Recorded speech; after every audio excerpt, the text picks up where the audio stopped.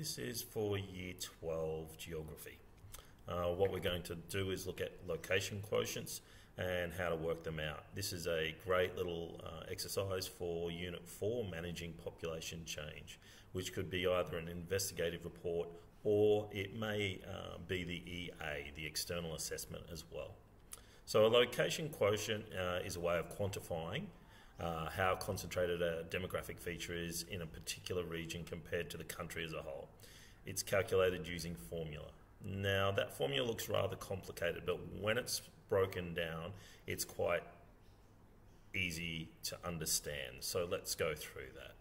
What we're going to do is we're going to go down and we're actually going to look at the location quotient of for Australian born populations in Brisbane and Sydney and how that's calculated.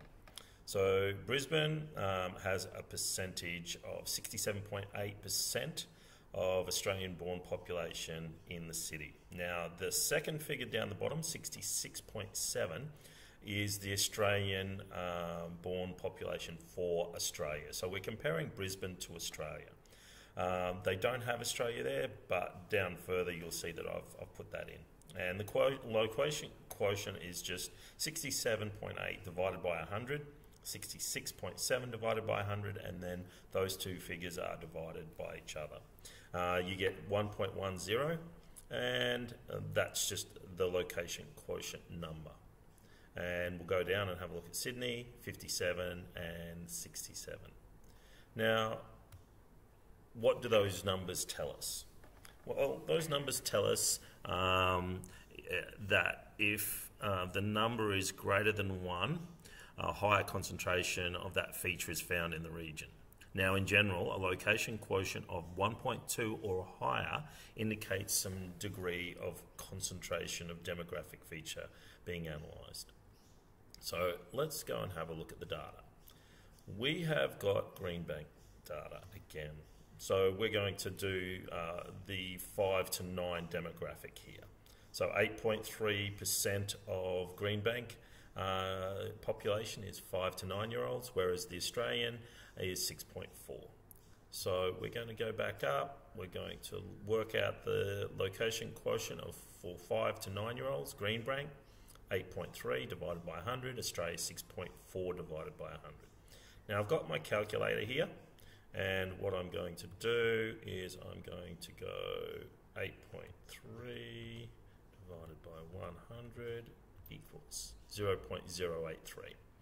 Now, I know that 6.4 is going to be uh, 0.064 equals, and we get a location quotient of 1.29. Uh, we might want to uh, round that up at 1.296, 1.3.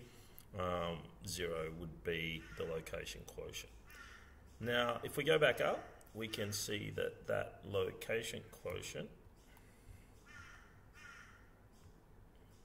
of 1.2 or higher indicates some degree of concentration. So with a location quotient of 1.30, uh, you would suggest that um, location quotient figure of 1.3 indicates a higher degree of concentration of 5 to 9 year olds in Greenbank compared to Australia. This highlights this SA2 is under pressure in the area of primary school places, and Greenbank needs to plan for future pressure on high schools in the near future. So that's what you could do with the data once you've done that. Now, what I want you to do is go down to the data set below and work out the location quotient for Greenbank for 45 to 49 year olds and then for uh, 80 to 84 year olds and write up what that represents. Thanks for listening and good luck with that. Let me know how you go.